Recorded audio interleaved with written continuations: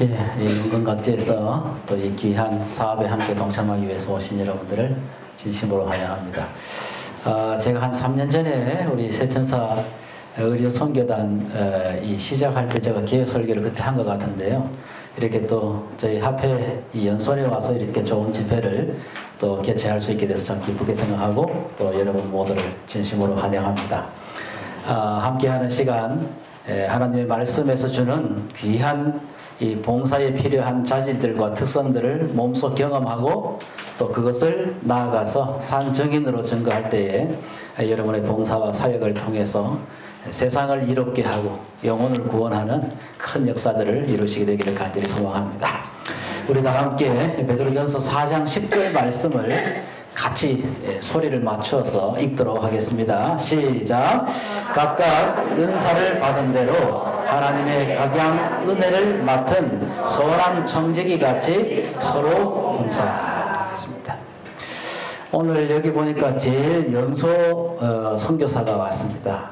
앞에 있는 우리 두 친구인데 한 친구는 거의 지금 예, 구물구물하고 있고 또 우리 옆에 누나는 아주 청기 있게 잘 듣고 있습니다.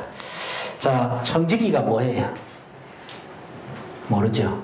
이 성경이 옛날에 번역이 돼가지고 56년도 판이 돼가지고 요즘 신세대들에게 이 청직이라는 말이 좀, 좀, 좀 그렇습니다. 그렇죠? 예, 좀 어려워요. 예, 영어로는 steward, 아, 여성 명사는 stewardess.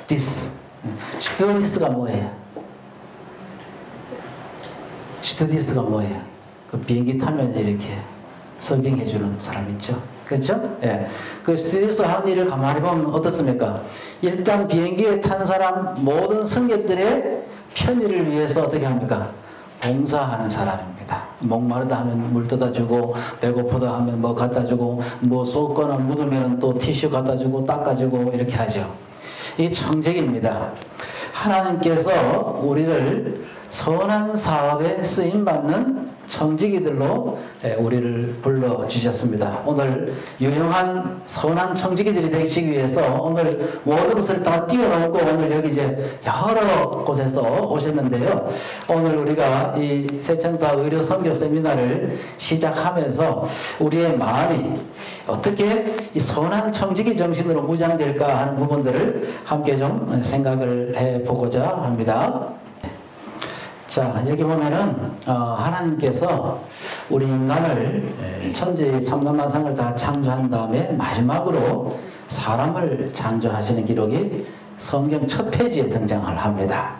그러면서 하나님께서 이렇게 말씀하셨어요. 하나님이 그들에게 복을 주시며 그들에게 이르시되 생육하고 번성하여 땅에 충만하라. 땅을 정복하라. 바다의 고기와 공중의 새와 땅에 움직이는 모든 생물을 다스리라 하시니라. 이 다스린다고 하는 말은 잘못 이해하면 뭐 짓밟고 부려먹고 일시켜 먹고 이렇게 하는 개념으로 생각하기 쉽지만은 이 다스린다라고 하는 말의 원뜻은 관리한다 하는 뜻입니다. 그래서 하나님께서 우리를 무엇으로 창조하셨어요? 삼남한상 하나님이 창조하신 피조물들을 관리하는 청지기로 하나님께서 우리를 세우시고 또 만물의 영장으로 그 역할을 감당할 수 있도록 우리에게 특별한 은사를 주셨다는 사실입니다. 그러면서 우리가 이 성경을 읽을 때에 가끔 편협적이거나 자기중심적으로 읽으면은 우리가 선한 청지기가 안 되고 나쁜 청지기가 될 소지가 가끔가다 있습니다. 예. 예를 들어서 여러분 공중에 새를 보라 심지도 않고 거두지도 않고 차, 차, 아, 창고에 모아들이지도 아니하되 너희 정부께서 기르시나니 했습니다. 여러분 우리가 새를 잘 관리하고 돌봐야 됩니까 안 돼야 됩니까? 예, 새도 먹고 살아야 됩니다. 근데 요즘은 어떻습니까? 뭐 이제 밭에 가면 다 그물로 덮어 씌워가지고 새 먹을 것도 없이 해놓은 데가 참 많이 있습니다. 그렇죠. 근데 이거 새도 누가 기른다 그랬어요? 하늘 아버지가 기르십니다. 그러니까 새도 누구 거예요? 하늘 아버지 건데 여러분 새에 대해서 관심을 좀 가지고 사십니까? 아니요. 내 먹고 사는데도 관심이 뭐 정신 하나도 없는데 새까지 관심을 가지느냐 이렇게 말할 수도 있습니다. 근데 새도 하나님의 재산이고 하나님의 기르시기 때문에 우리가 하나님의 청지기로서 뭐도 사랑해야 됩니까? 아, 새도 사랑해야 합니다. 또 예수님께서 이런 말씀을 하셨습니다. 마태복음에 어, 보면은 가라스되 너희 중에 어느 사람이 양 한 마리가 있는데 안식일에 구덩이에 빠졌으면 붙잡아내지 않겠느냐. 아, 나 오늘 안식일이야. 나 오늘 일하면 안 돼. 특히 우리 안식일 교인들 가끔마다 이런 생각 가질 수 있습니다. 그래서 안식일을 지킨답시고 우리 집 웅덩이에 물웅덩이에 냇가에 낙상해가지고 빠져있는 양이나 소나 가축을 외면하고 교회에 가서 할렐루야 아멘 하고 있으면은 하나님이 기뻐하실까요? 안 기뻐하실까요? 그 양과 그 소는 누가 기르십니까? 하나님이 기르시는 재산입니다. 그래서 안식일이라 할지라도 우리는 그 꺼져가는 생명을 일으켜 세우는 일이 선한 일이다라고 지적을 하고 있습니다. 자, 이 성경에 보면 또 이렇게 이사야서 이런 말씀이 있습니다. 무릇 이 나무는 사람이 화목을 삼는 것이오늘 그가 그것을 가지고 자기 몸을 덥게 하고 그것으로 불을 피워서 떡을 굽기도 하고 그것으로 또 신상을 만들어 숭배하고 우상을 만들고 그 앞에 부복하기도 하는구나. 그러면은 이 뒤에 거는 나쁘고 앞에 거는 괜찮습니까? 어때요? 그 우상만 깎아가지고 안 만들면 나머지는 그냥 아무거나 다, 다 배가지고 그냥 다 태워가지고 그냥 예, 찢고 뽑고 하는데 그냥 다 배가지고 써도 되느냐? 아니다 하는 것이죠. 우리가 하나님을 믿으면서도 환경과 생명에 대한 문제를 상당히, 상당히 등한시하면서 살아올 때가 많이 있습니다. 자, 이 말씀 한번 봅시다. 주의 날이 도적같이 오리니 그날에는 하늘이 큰 소리로 떠나가고 체질이 뜨거운 불에 풀어지고 땅과 그 중에는 모든 일이 드러나리라. 그날에 하늘이 불에 타서 풀어지고 체질은 뜨거운 불에 녹아지려니와 예수님 오실 때 이 세상 지구 역사가 멸망할 때에 이런 모습이 될 것이다 했어요. 그러니까 여러분들이 생각하길래 뭐라고 생각할 수 있습니까? 그거 다 심판받아가지고 언젠간 다 타질 거니까 좀 앞당겨서 태우자. 뭐 공기도 다 저 타서 없어지고 예? 땅도 다 타서 없어질 거니까 미리 뭐 좀 당겨서 태우는 거 어떨까? 우리 그렇게 생각할 수 있습니다. 우리 그리스도인들이 그렇게 하면 되는 거 아닙니까? 예, 그렇게 해서는 안 된다 하는 것입니다. 이 성경을 잘못 읽으면 안 된다 하는 것입니다.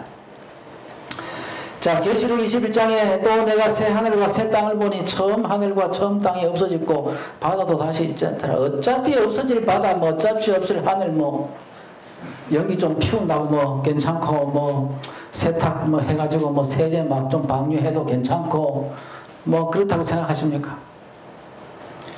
자, 우리가 잘 아는 성경 말씀 마태복음 28장 18절로 20절에 대사하며 너희는 모든 족속의 제자를 삼아 아지바 아들과 성령 이름으로 침례를 주고 내가 너에게 분부한 모든 것을 가르치라. 누구를 구원하라는 말입니까? 예? 사람을 구원하라는 말이죠. 선교하라는 거죠. 그러면 사람만 하려고 갈 거니까 사람만 그냥 구원하고 나머지 뭐, 뭐 돌보고 환경을 생각하고 이런 거는 그냥 안 해도 됩니까? 그렇지 않다고 하는 것입니다. 그래서 우리가 이 선한 청지기로서 또 우리가 사람을 구원하고 세상을 아름답게 하고 치유하는 이, 이 세천사 의료 선교 사업을 우리가 제대로 하기 위해서 먼저 우리가 좀 이 환경을 사랑하고 아끼는 그러한 이 항공 보호자들이 우리 그리스도인들이 먼저 좀 환경을 아끼는 사람이 좀 되었으면 좋겠다 생각이 듭니다. 그래서 왜 우리 그리스도인이 환경보호자가 되어야 되는지 제가 네 가지 이유를 좀 간략하게 소개해 드리겠습니다. 첫 번째는 하나님은 창조주이시고 우리는 그의 형상으로 창조되었기 때문에 우리는 우리의 삶을 통해서 창조주 하나님의 속성과 정신을 우리의 삶을 통해서 드러내야 된다 하는 사실입니다. 그래서 하나님께서 이 삼남만상을 지으시고 사람만 이쁘다 그랬을까요? 어땠을까요? 네? 사, 모든 것이 다 아름다웠다 그랬습니다. 그러니까 하나님께서 사람만 이뻐하신 게 아니고 누구도 이뻐했어요. 예? 뚱뚱한 코끼리도 이뻐하시고 예? 또 호두 잘 까먹는 예? 청설모도 이쁘다고 이렇게 하겠습니다. 그러니까 이들을 우리가 사랑하고 돌봐야 됩니다. 그래서 하나님께서는 사람을 세우셔서 하나님의 형상과 모양대로 하나님의 속성을 닮은 청지기를 일으키셔서 하나님께서 창조한 모든 피조 세계를 관리하는 선한 청지기로 하나님께서 우리 인간을 세우셨습니다. 그런데요, 하나님께서 사람을 뭘로 만드셨어요? 흙으로 만드셨습니다. 더불어 공중에 나는 새들과 육축과 동물들도 뭐로 만들었어요? 같이 흙으로 만드셨습니다. 그 체질이 같아요. 그래서 사람을 통해서 똑같은 체질로 흙으로 만들어진 다른 피조물들을 관리하고 돌보는 그러한 정직기로 하나님께서 우리를 세워주셨다 는 사실입니다. 더불어서 사람들에게도 생육하고 번성하도록 명령하셨고 동물들에게도 생육하고 번성하도록 그래서 땅에 충만하도록 그렇게 하나님께서 명령하셨습니다. 시편 24편 1절에 땅과 거기에 충만한 것과 세계와 그 중에 가는 자가 다 하나님의 것입니다. 특별히 땅도 하나님의 것이다. 그래서 이스라엘 백성들이 안식년이 되면은 예, 농토를 경작하지 않고 혹시 작년에 거두다가 낙곡이 떨어져서 자연적으로 곡식들이 자라면은 그 곡식은 어떻게 했습니까? 아이고 하나님 보너스를 주셨다 해가지고 알뜰하게 막 낚아챘습니까? 어떻게 했습니까? 예, 그것은 보령으로서 땅이 휴식을 취하고 농부들의 수하에서 열심히 농사일을 도왔던 가축들도 쉬고 더불어서 남편이 없고 부모가 없어서 돌박을 사랑이 없었던 고아나 과부나 또 잠시 그 동네를 지나가는 나그네들이 그 휴식 기간에 발생하는 곡식으로 먹고 살고 더불어 누리도록 하는 제도를 주셨습니다. 안식년이 일곱 번 지나가고 50년째 희년이 될 때에는 48년째 농사를 지을 때는 그 48년째는 앞으로 2년 동안 계속 농사를 짓지 않기 때문에 3년 동안 먹을 따따블의 축복을 하나님께서 주셨습니다. 그래서 이 시년이 되면은 그동안 지난 50년 안에 거래됐던 모든 부동산은 원 소유주에게 다 돌아갔습니다. 근데 그 소유주가 죽었거나 해가지고 행방불명이 됐거나 없어지면은 그 소유주는 성전에 바쳐져서 궁극적으로 그 소유주가 하나님에게 있다는 사실을 그들의 삶을 통해서 인정하며 살아가게 됐어요. 이 모든 것을 통해서 하나님께서 피조물들을 창조하시고 그것은 하나님의 것이고 우리 또한 하나님의 것이고 우리는 하나님의 손으로 만드신 것을 관리하는 청직이기 때문에 우리는 환경을 보호하고 사랑하고 아끼는 그러한 주님의 관리인이 되어야 된다 하는 것입니다. 자, 그래서 여러분, 우리 성경에 보면은 그 비유의 말씀이 나오죠. 주인이 저를 불러다가 내가 내게 대하여 들은 이 말이 어찌면요. 내 모든 일을 세마라. 이 정산하는 과정이 나옵니다. 임금이 청지기들을 세우고 임금의 재산들을 관리하고 임명을 했는데 그것이 잘 관리되었는지 그 주인과 종이 어떻게 합니까? 정산하는 과정이 나옵니다. 우리가 우리의 삶이 맞춰질 때에 우리가 하나님 앞에 하나님의 선한 청지기로서 우리의 직분이 잘 수행되었는지에 대한 정상 과정을 거친다는 것도 우리가 한번 생각해 보아야 합니다. 왜 우리가 환경보호자가 되어야 되는가? 두 번째 이유는 하나님은 당신의 피조물과 여전히 연관되어 있고 저들을 보호하고 계십니다. 하나님은 지어만 놓고 알아서 살아라 이렇게 하시는 분이 아니고 창조하셨고 수백 세대를 거쳐오지만 여전히 그 후손들을 하나님께서 지금도 연결되셔서 저들을 지키시고 보호하시고 관리하시고 운행하고 계십니다. 그렇기 때문에 우리는 비록 아담과 하와는 아니지만 그 후손으로서 여전히 정직의 사명을 계속 이어받고 있다는 사실을 강조하고 있습니다. 생물들의 혼과 인생의 영이 다 그의 손에 있느니라. 사람의 모든 생명, 피조물들의 모든 생명, 그 모든 것들이 하나님의 관리하심과 통제 속에 있다는 사실을 이 욥기서에서 지적하고 있습니다. 땅을 권고하사 물을 내어 심히 윤택케 하시고 하나님의 강 하나님의 강에 물이 가득하게 하시고 이 땅에 이같이 땅을 예비하신 후에 저에게 곡식을 주시며 이 생태계의 모든 순환하고 회전되는 이 모든 것들 속에 하나님의 간섭하심이 있다는 것입니다. 그렇기 때문에 우리는 그들을 관리해야 할 중대한 책임이 있습니다. 특별히 하나님께서는 인간의 죄가 관영하고 폐괴해서 땅을 심판하는 그 순간에도 딸랑 노아의 가족 8명만 방주에 들어간 게한 것이 아니라 말 못하고 고생하고 신음하는 이 동물들의 종족을 보존하기 위하여 정하고 부정한 짐승들을 그 종류대로 보존하시는 세심한 배려와 사랑을 성경에서 볼 수 있다는 사실입니다. 자, 정결한 것은 일곱 상식. 그렇죠? 이렇게 해서 부정한 것들도 그 종류대로 짝을 지어서 방주 속으로 들여 보내십니다. 하나님께서 비를 계속 내리지 아니하시고 비를 감하셨는데 노아와 그의 가족만 봐줘서 그런 것이 아니라 그 배에 타고 있는 무엇까지도 생각하셨어요? 들짐승과 육축도 배려하고 생각하셨다라고 기록하고 있습니다. 그런 다음에 방주에서 나와서 창세기 9장 9절 10절에 보면은 하나님께서 언약을 맺으시는데 누구와 언약을 맺으십니까? 노아와 그의 가족들과도 언약을 맺으시지만은 하나님께서 여기 보면 모든 생물 곧 너희와 함께한 새와 육축과 땅의 모든 생물과 더불어서 뭐를 세우십니까? 언약을 세우십니다. 그리고 그 언약을 집행하고 유지하고 관리하는 관리자로 누구를 두셨습니까? 인간을 여전히 세우셨다는 사실입니다. 모든 생물 사이에 된 영원한 언약을 기억하라. 그러니까 이 기억을 누가 해야 됩니까? 누가 제일 많이 기억해야 될까요? 사람이 기억해야죠, 사람이. 영원한 언약입니다.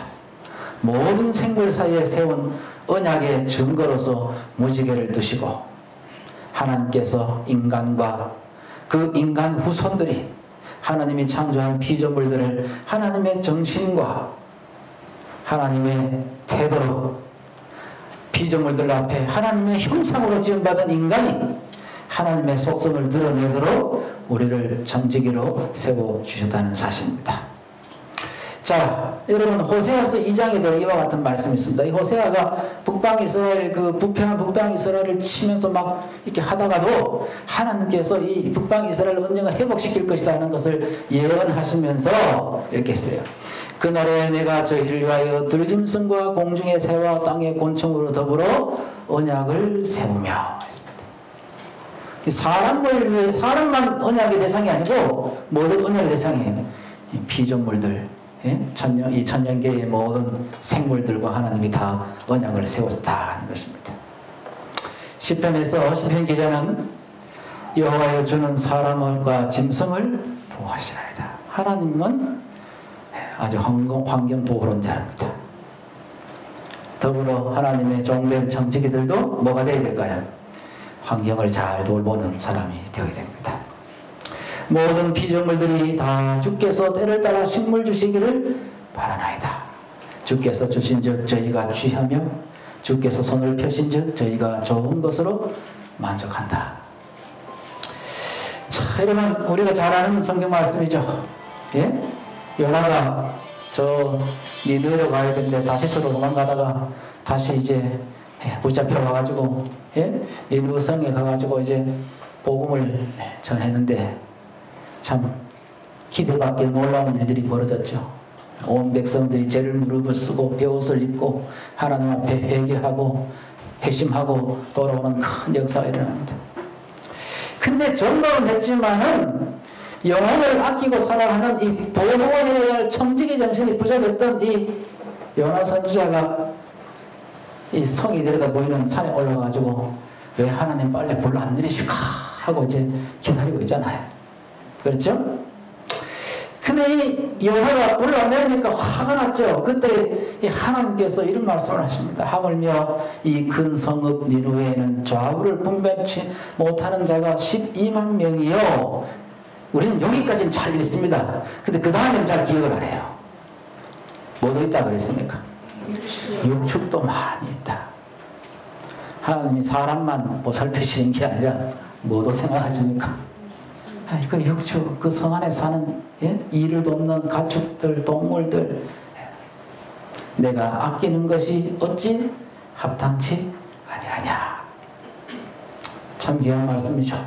공정에 나는 새들도 전부께서 기르시, 기르신다 그랬습니다.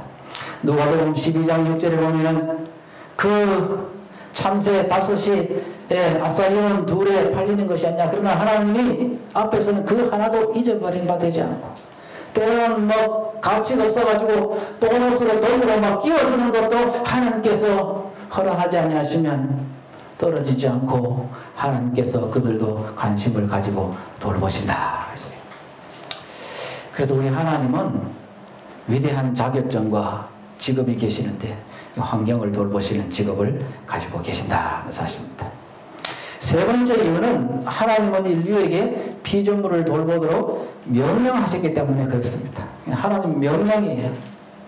그래서 우리는 이 하나님의 명령을 따라서 이 환경을 보호해야 할 막중한 사명을 가지고 이 땅에 창조함을 받았다는 사실입니다.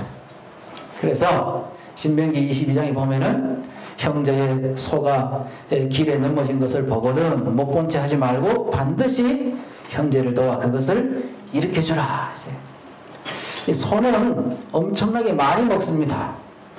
그 소가 그 뭐 설거지 한 물 이게 부정물 먹으면 한 통, 플라스틱 큰 통, 그한통 다 마십니다. 그 안에 위장이 굉장히 크죠. 초식동물이니까. 근데 이게 소가 누울 때 보면요. 그냥 뭐 어릴 때는 오른쪽으로 넣고 어릴 때는 왼쪽으로 넣고 아무렇게 이렇게 하신 게 아니고 반드시 정해진 방향으로만 놓습니다. 근데 이게 잘못 누르면요. 안에 있는 이 내장이 심장을 눌려가지고 호흡 곤란이 오다가 결국 죽습니다. 그러니까 빨리 이렇게 줘야 돼요. 생명의 이, 이, 이 초름을 다투는 굉장히 중요한 순간이죠. 그래서 옛날에 우리 어르신들 보면 소가 어디 들판에서 넘어지면 막 장정들이 다 붙어가지고 어떻게 합니까? 소를 불려가지고 제 위치로 다시금 돌려 놓습니다.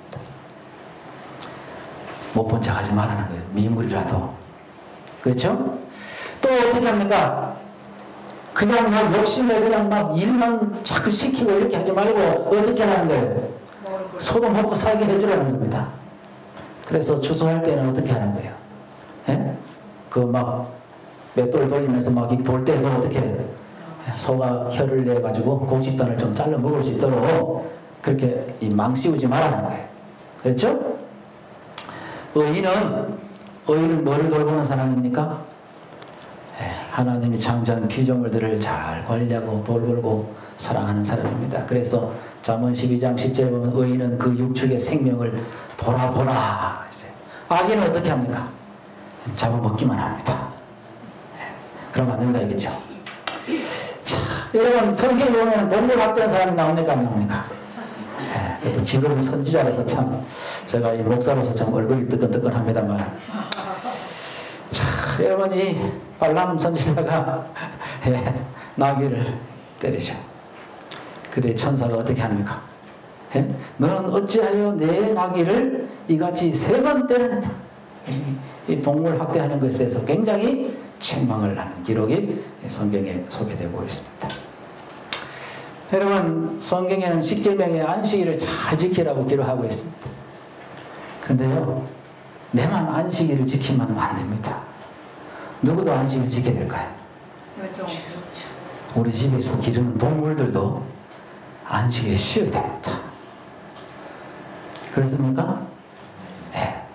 왜냐하면 하나님의 것이기 때문에 그렇습니다. 그래서 너나 내 아들이나 내 남종이나 여종이나 심지어는 너의 가축이나 심지어는 너희 집에 방문한 계기라 할지라도 안식일에는 수고를 덜고 모든 일을 내려놓고 하나님과 더불어 사귀고 창조주의 주권이 어디에 있는지를 되새기는 주객이 누군지를 분명히 다시금 새롭게 정립하는 그런 시간, 회복의 시간이 되도록 하나님께서 우리를 지시하셨다는 것입니다. 제가 그번에 말씀드렸죠? 예, 안식년에도 그렇게 하라. 들짐승들도 먹고 가난한 사람들도 좀 먹고 같이 살도록 그렇게 하라는 것입니다. 그 다음에 중요한 독성의 기록이 나옵니다. 참 성경에 보면은 재밌는 기록이 많아요. 그 전쟁할 때에 예? 성을 에워싸가지고 막 공성태 날리고 막 불화살 쏘고 막, 이렇게 할 때에 뭐는 베지 마라 그랬습니까? 여기 보면은 신명기 입장에 나무는 베지 마라. 나무가 있어야 예? 새도 먹고 살고 예? 거기서 뭐 떨어지면 짐승도 먹고 살고 사람도 먹고 살고 그렇게 할 건데 나무 베면 안 된다. 나무 베지 마라 그랬어요. 자 여러분 우리가 잘 아는 말씀 예수님께서 오병이어 기적을 일으키시고 남은 것은 어떻게 하라 그랬어요? 다 거두어들이라 했어요. 물론 그것을 또 가난한 사람들 나눠줄 수도 있지만은 또 그 버려놓으면 또 어떻게 돼요? 때로는 오염이 일어날 수도 있습니다. 그래서 환경을 사랑하시고 절약하시고 아끼시는 모습을 예수님께서 보여주시고 명하셨다는 것입니다. 왜 우리가 환경보호자가 되어야 되는가? 하나님께서는 당신의 피조물들이 오염되거나 남학될 때에 분개하십니다. 슬퍼하십니다. 그래서 하나님을 슬프게 하는 것은 범죄이기 때문에 하나님께서 그 피조물들과 자신을 동일시 여기기 때문에 우리는 피조물들을 보호하고 관리해야 합니다. 그런데 여러분 우리 사람들이 잘 관리하는 것 같아요? 안 하는 것 같아요? 잘안 합니다. 원인이 뭘까요? 탐심입니다. 자기가 원하는 것을 더 많이, 더 자주, 또 자기만이 그것을 즐기기 위해서 탐심이 자리 잡다 보니까 이 세계가 실험하고 고통 가운데 놓여 있습니다. 우리 이제 원장님이 강의석에서 여러 등장하겠지만은 결국은 아픈 것이 다 욕심이고 탐심 때문에 시작됐습니다. 예. 쉬어야 되는데 안 쉬고 뭐 좀 더 움켜쥐어 보려고 죽기 살기로 하다 보면 여기 아프고 저기 아프고 해가 나중에는 정말 병원에서 손 들고 이렇게 내볼 때가 참 많지 않습니까? 사람의 이러한 탐심이 우리가 살아가는 이 땅을 멍들게 한다고 했습니다. 그래서 여기 보면은 예레미야서 2장에 보면은 예? 언제까지 이 땅이 슬퍼하며 온 지방의 채소가 마르리까 짐승과 새들도 멸절되고 망하는 나라의 마지막 모습을 성경에 여러 번 하죠. 북방 이스라엘 남방유다 바벨론의 몰락을 예언할 때마다 거기에 등장하는 반복적인 표현들이 있는데 환경이 파괴됩니다. 땅이 황무해질 것이라고 기록하고 있습니다. 자기만 물 먹고 자기는 물, 맑은 물 마시고 그 다음 물을 밟아가지고 더럽혀서 오염시켜서 다른 생명체들이 먹고 살기 힘들게 만드는 것입니다. 그래서 에스겔 34장에 보면 너희가 좋은 꼴을 먹는 것이 작은 일로 여기느냐 우리가 이렇게 좋은 공기 마시고 좋은 물 마시고 이렇게 편하게 살아가는 게 이게 작은 일이 아니라는 거죠. 이거 하나님의 위대한 섭리와 돌보심의 결과라는 사실이죠. 근데 그걸 대수롭지 않게 생각하고 예, 물을 아무렇게나 더럽히고 예, 이렇게 하는 거 땅을 더럽히는 거 이것이 이게 예사일이 아니다는 거죠. 하나님 앞에 크게 공로할 일이라는 사실을 지적을 하고 있습니다. 이사야 5장에 이런 말씀이 있습니다. 가옥에 가옥을 연하여 전토에 전토를 더하여 빈틈이 없도록 하고 이 땅 가운데서 홀로 거하려 하는 그들은 화 있을진저 만군의 여호와께서 내 귀에 말씀하시되 정령이 허다한 가옥이 황폐하리니 탐심입니다. 자기만 잘 살고 우리만 잘 살고 그래서 예, 저 홍콩 뭐 도쿄 뉴욕 예, 하늘 노로도 막 쌓아 올려가지고 집을 짓고 삽니다. 환경의 파괴입니다. 이러한 환경의 파괴가 큰 재앙으로 이르러 올 것을 성경에서 이미 예고하고 있습니다. 자, 10편 107편에 여호와께서 강물 변하여 광야가 되게 하시고 샘으로 마른 땅이 되게 하시며 그 거민의 악을 인하여 옥토로 연밭이 소금밭이 되게 하시며 이사야서의 24장에 땅이 슬퍼하고 쇠잔하여 세계가 쇠잔하고 쇠잔하며 땅의 세상 백성 중에서 높은 자가 쇠약하며 땅에 또한 그 거민 아래서 더럽게 되었으니 이는 그들이 율법을 범하며 윤례를 어기며 영원한 언약을 파하였습니다. 영원한 언약 하나님께서 사람과 모든 피조물들과 세운 그 위대한 언약을 영원한 언약을 오늘날 이 세대 사람들이 그 탐심과 무력, 물질주의, 황금만능주의에서 세상을 그렇게 황폐화시키고 있다는 사실입니다. 이것이 고난과 질병과 신음의 원인이 되고 있음을 지적하고 있습니다. 살다 보면 이런 문제에 대해서 전혀 상관이 하지 않는 분리된 사람들을 많이 봅니다. 하나님은 언제나 생명을 사랑하시고 그들을 찾으시고 돌보시는 일을 즐겨 하시고 끝까지 하시는 회복자이십니다. 우리는 이렇게 좋은 환경, 숲속이나 강가나 맑은 물이 흐르는 곳에 가면 기분이 참 좋지 않습니까? 요즘은 환경 문제에 대해서 관심이 좀 많이 좋아졌습니다. 그래서 뭐 요즘은 또 전기차, 뭐 수소차 이런 게 많이 나옵니다. 근데 여러분, 이런 전기차, 예? 기름 막대고 매연 안 나오는 예? 이산화탄소 안 나오는 이런 전기차 끌고 가서 스테이크 자르면 어떻게 됩니까? 어떻게 생각하세요? 문제가 심각합니다. 여러분 환경을 잘 관리하는 나라일수록 쓰레기통이 여러 개 있습니다. 이렇게 분류가 이렇게 다 나오죠. 근데 못 사는 나라일수록요 쓰레기통이 딱 한 개밖에 없습니다. 뭐 음식물로 시작부터 해서 모든 것이 다 한 통으로 들어갑니다. 네, 문제죠. 오늘 우리가 이 성경 말씀을 통해서 하나님의 선한 정직이로서 우리가 더불어 살아가는 이 환경, 하나님이 우리에게 관리하도록 주신 이것을 성경 말씀을 통해서 살펴보았습니다. 아마 성경을 여러 번 읽어도 이런 말씀이 있었나 하고 오늘 뜨아해 하시는 분들이 계실지 모르겠습니다. 오늘 우리가 이 받은 이 성경 말씀을 다시 이 신령으로만 가지고 있는 것이 아니라 이것을 행동화시키기 위해서 그러면 우리가 우리 생활 속에서 어떤 것을 실천할 수 있을까? 네. 첫 번째는 이 환경을 보호할 수 있는 정보에 밝은 사람이 되었으면 좋겠다 생각이 됩니다. 사람의 생명이 소유에 넉넉한 데 있지 않습니다.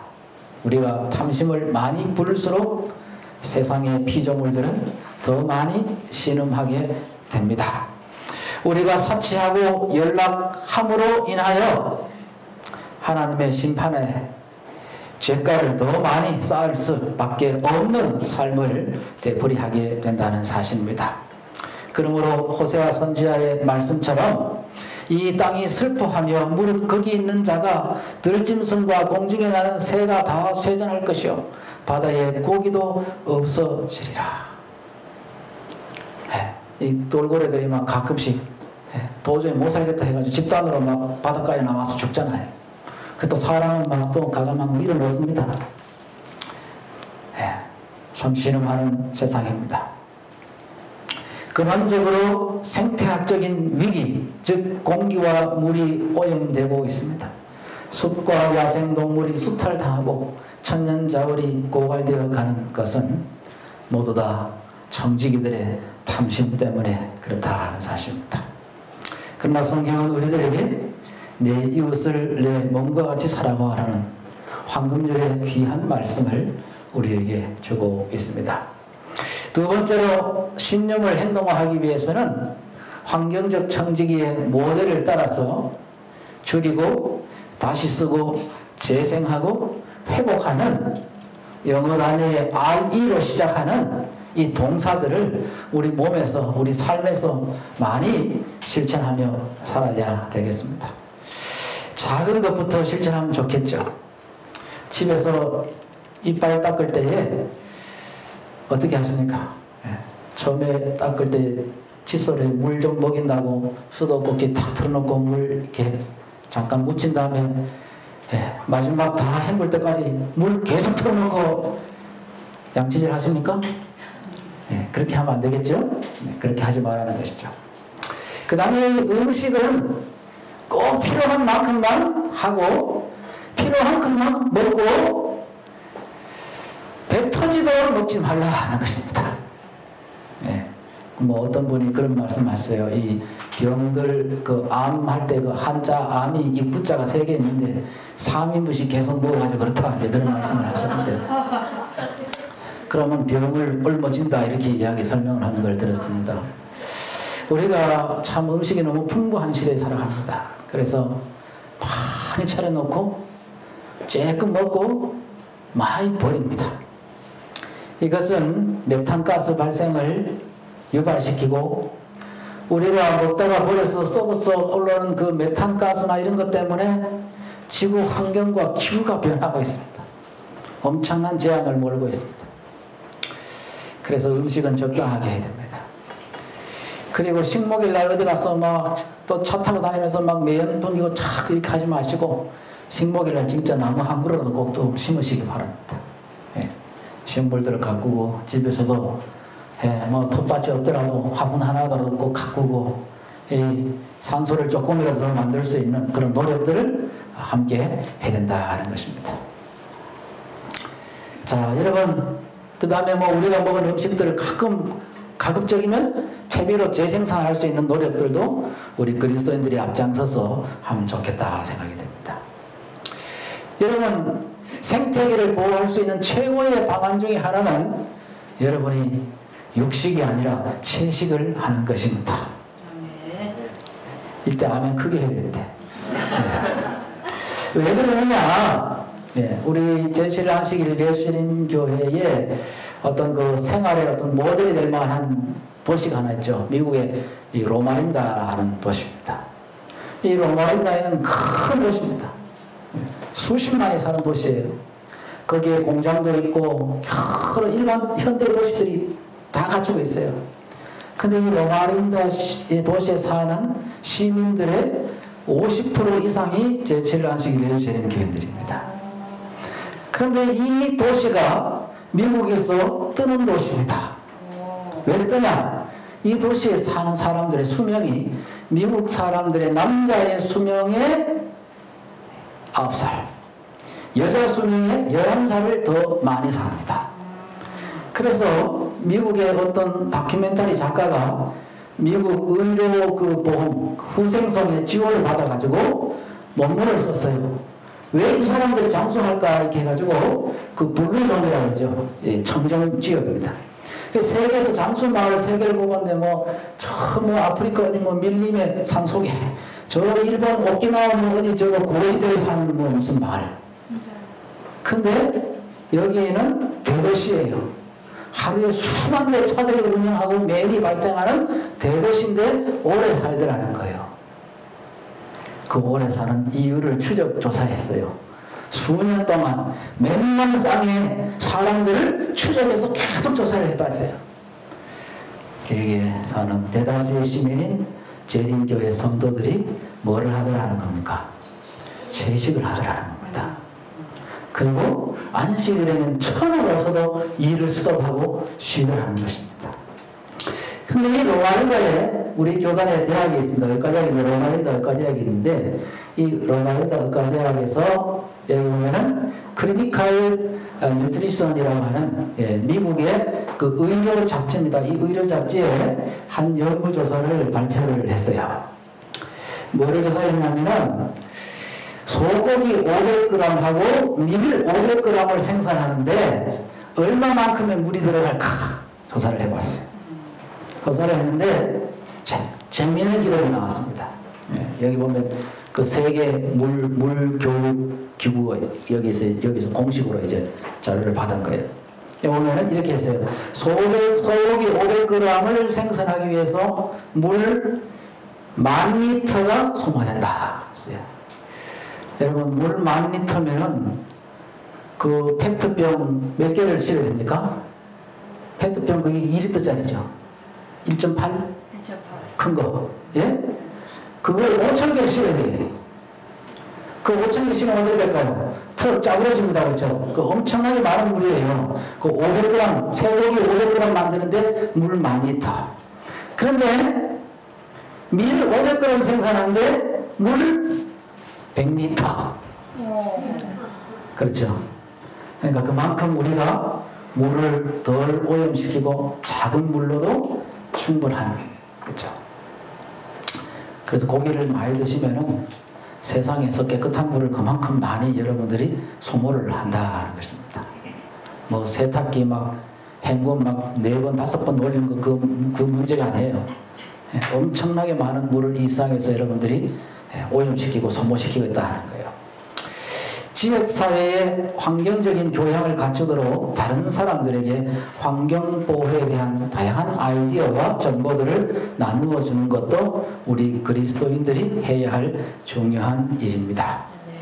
그래서 다양한 책자라든가 또 삶의 경험이라든가 예, 우리 건강기밀과 마찬가지죠. 오늘 우리 원장님 지적하신 것처럼 내가 직접 공복을 물두 잔씩 마시고 절제하고 소식하고 운동하고 이렇게 하면서 내가 경험하고 체득하는 것을 다른 사람들에게 나누어 주는 것. 예, 우리가 이 그리스도인들이 그걸 해야 됩니다. 환경을 보호하고 생명을 사랑하고 돌보고 아끼고 하는 것 이것이 우리가 세상을 향하여 보여주어야 할 중요한 일들입니다. 근본적으로 우리들은 하나님의 청지기들로서 자원을 불법적으로 착취하는 일들이라든가 무모한 환경 파괴라든가 광범위한 고통을 유발하는 생태학적인 무질서, 기후의 변화에 영향을 미칠 수 있는 것들을 멈추고 세상을 아름답게 하고 깨끗하게 하는 이 놀라운 변화를 가져오는 일에 앞장서는 선두주자들이 되어야 한다는 사실입니다. 우리는 곱게 풀린 소비나 무책임한 소비주의를 통제해야만 합니다. 우리는 재생이 불가능한 자원의 고갈을 멈추게 하고 지구 생태에 치명적인 오염을 유발하는 것들을 중단시키는 실천 계획들을 세우고 사소한 우리의 삶을 통해서 그것을 지속적으로 실천해 나가는 청지기들이 되어야 하겠습니다. 예수님께서 이 땅에 다시 오시는 그날까지 우리는 이러한 선한 정직이로서의 사역을 지속해 나가야만 합니다. 하나님께서는 이 지구 역사에 마지막에 새 하늘과 새 땅을 창조하겠다고 성경의 비전을 선포하고 계십니다. 여기 보면 역대하 7장에 이렇게 기록하고 있습니다. 내 이름으로 일컫는 내 백성이 그 악한 길에서 떠나 스스로 겸비하고 기도하여 내 얼굴을 구하면 내가 하늘에서 듣고 그 죄를 사하고 그 땅을 고치겠다 했습니다. 하나님은 땅도 고치고 그 땅을 고치는 사역을 고침받은 사람을 통해서 하실 겁니다. 그래서 오늘 우리가 이러한 이 삶을 체득하게 하는 이 과정을 통해서 우리가 탐식하고 폭식하고 과식하고 과로하고 그렇게 살아왔던 우리의 삶을 한번 돌아보면서 다시 한번 스스로 겸비해지고 우리 하나님께 우리의 죄를 자복하고 몸과 마음이 새롭게 치료받는 경험들이 일어나게 되기를 바랍니다. 그리고 그것을 통해서 세상을 치료하는 하나님의 위대한 비전을 수행하는 도구들로 살아가게 되기를 간절히 바랍니다. 우리가 이러한 사역을 하게 되면은 땅이 이렇게 치료되겠다고 이사야 35장 기록합니다. 광야와 마른 땅이 기뻐하며 사막이 백합과 같이 피고 즐거워하며 뜨거운 사막이 변하여 연못이 될 것이며 메마른 땅이 변하여 원천이 될 것이며 실랑이 눕던 곳에 풀과 갈대와 부들이 날 것이다. 회복되는 것입니다. 호세아서 2장 18절에 그 날에는 내가 저희를 위하여 들짐승과 공중의 새와 땅의 곤충으로 더불어 다시 언약을 세우십니다. 방주에서 나온 노아와 그의 가족들과 더불어 모든 생물과 더불어 영원한 언약을 다시금 다 재수립하시겠다고 했습니다.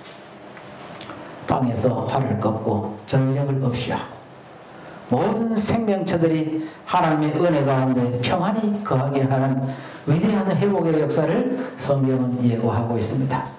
나의 거룩한 삶 모든 것에서 해됨도 없고 상함도 없을 것이 이는 물이 바다를 덮음같이 여호와를 아는 지식이 세상에 충만할 것임이니라.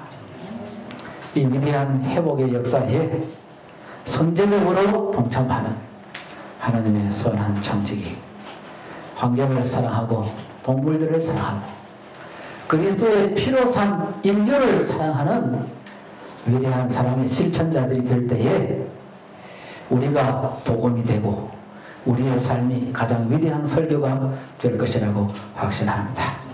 이 위대한 부르심에 끝까지 충성하는 주님의 귀한 종들이 되시기를 간절히 바라면서 말씀을 드리도록 하겠습니다. 기도드리겠습니다. 우리를 극진히 사랑하시는 주님, 우리의 조상 아담과 하와를 하나님의 피조물들을 주의 뜻에 따라 관리하도록 하나님의 형상으로 창조하시고 선한 청지기로 세우셨습니다. 그러나 긴 시간의 역사 속에서 인간은 하나님의 피조물들을 착취하고 지배하고 폭력적으로 피를 흘려서 그들의 입맛과 그들의 식욕을 충족하는 그래서 땅이 신음하고 황폐해져가는 시대에 살아가고 있습니다. 우리는 쾌락을 위해서 그것을 추구했는데 우리는 그 남용과 그 탐심에 결과로 빚어지는 아픔과 질병과 고통 속에 다시금 신음하고 있습니다. 우리에게 치유와 회복이 필요합니다. 다시 한번 우리를 창조하신 하나님께로 돌아가서 말씀을 펴게 하시고 오늘도 여전히 우리를 치료하셔서 회복시키고 우리를 통하여 당신의 신음하는 피조물들을 회복시키기를 원하시는 하나님의 위대한 비전을 보게 하여 주시고 우리가 그 위대한 역사 속에 쓰임받는 도구들로 우뚝 설 수 있도록 은혜 다하여 주시옵소서. 이제부터 시작되는 11기 새천사 의료 선교 세미나. 복 주시고 성령을 부어주셔서 순간순간 전해지는 하나님의 말씀 속에 우리 자신을 던지게 하여 주셔서 말씀의 이끌림을 받는 말씀의 삶 되게 축복하여 주시옵소서. 뜨거운 가족과 교회와 일터를 안전하게 지켜주셔서 이번 기간 동안 마음 놓고 깊이 주님을 체험하는 소중한 시간 되도록 축복하여 주시옵기를 예수님 이름으로 간절히 기도드립니다. 아멘.